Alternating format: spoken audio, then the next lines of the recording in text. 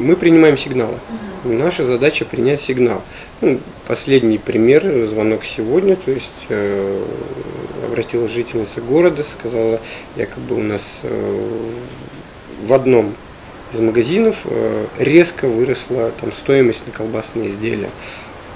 Специалисты просто связываются там, э, с этим магазином, с руководителем магазина и просят э, или включаем их в мониторинг, да, и продолжаем наблюдать, то есть, если они не включены, ну, либо интересуемся, ну, в порядке просто, опять-таки, получения какой-то информации, которую мы передаем в министерство. Других задач на сегодня перед нами не стоит, и полномочий каких-то на администрацию города дополнительных в этом отношении не возложено.